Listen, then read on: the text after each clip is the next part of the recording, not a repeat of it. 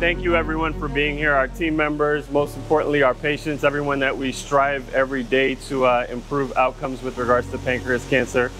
Certainly November being Pancreatic Cancer Awareness and today being World Pancreatic Cancer Day is important with regards to not only awareness, but knowing the symptoms, risk factors, um, so that we can obviously continue to fight this horrible disease. I think that's obviously the first step.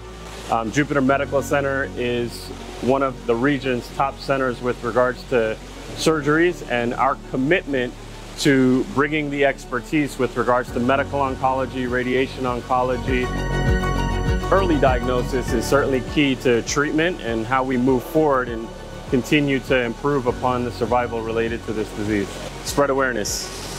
Tell your stories. I think they're important.